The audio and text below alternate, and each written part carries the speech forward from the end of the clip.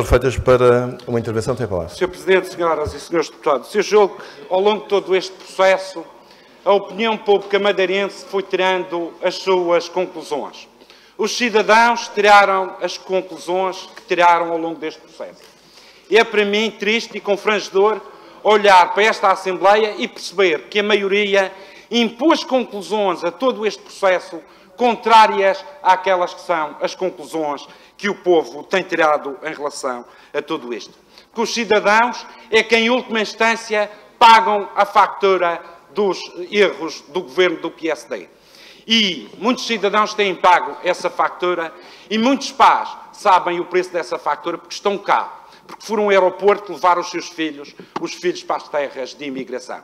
E o PSD, quando aqui vem levianamente, com esta comissão de inquérito, branquear, branquear o passado e os erros políticos, está a trair o povo da Madeira.